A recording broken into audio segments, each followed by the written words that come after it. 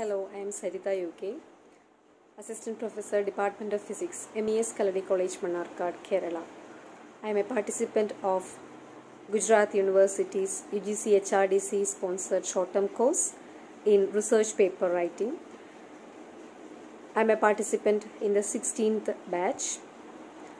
It was a great experience for me to participate in this course. This course covered the entire area of research publication, starting from the basics of research, how to write a good publication or a good article, and how to publish it in a uh, well reputed journal. Actually, this course uh, helped me very much uh, in writing the uh, dissertations and even it helped uh, even it will help all the participants uh, to learn about how to write a PhD thesis properly. So, being a, a research pursuing faculty, it was a great opportunity for me to attend this course. Thank you.